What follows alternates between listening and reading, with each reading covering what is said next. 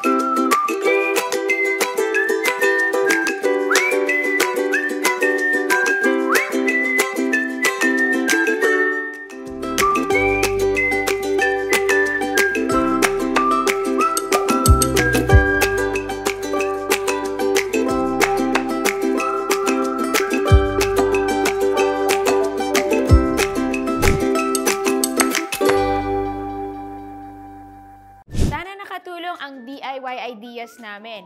Any parent can do it. Pwede nyo rin tong gawing Halloween activity with the kids para mas enjoy. Thinking of other ways to save? Here are a few more tips. Tip number two, borrow or exchange costumes. Para hindi na laging bumibili, pwede namang humiram. Pwede mo rin i-post to sa ating Smart Parenting Village. May bago ka ng costume, may bago ka pang friend. Tip number three, plan ahead and take advantage of discounts. Huwag laging last minute. Ngayon pa lang, pwede ka nang mag-plan para next year. Avoid trends and stick to the classics para laging patok yung costume. Tip number 4, create a Halloween budget. Stick to it. Bigyan nyo rin ng budget ang mga kids pag nasa store para natuto na rin sila ng money management. Tip number 5, sell your old costumes. If you're not recycling it, ibenta mo na lang yan. That's it for today. If you like this video, hit that like button and subscribe to Smart Parenting for more videos like this one. Happy Halloween!